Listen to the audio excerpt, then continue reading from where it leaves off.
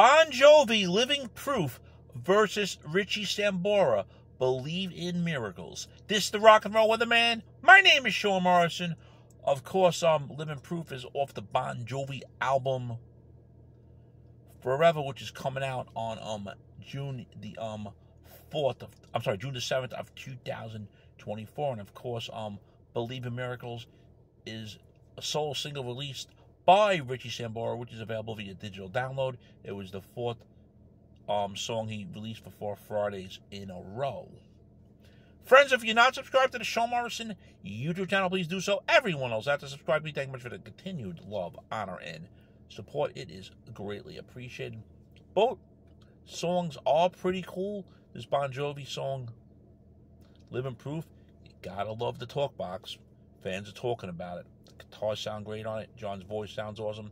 The whole band sounds awesome. Then Richie's song here, Believe in Miracles. Yeah, it's more of the ballad type, but it's got he's playing the electric guitar in the whole song, and I thought the solos, the soul, the guitar solos were pretty cool. Sorry for the um the repeating there, but you know what I mean when I say guitar solos. So, friends, who do you think wins between Bon Jovi, Living Proof versus Richie Sambora? Believe in miracles. What's your vote? Shame, shame, shame.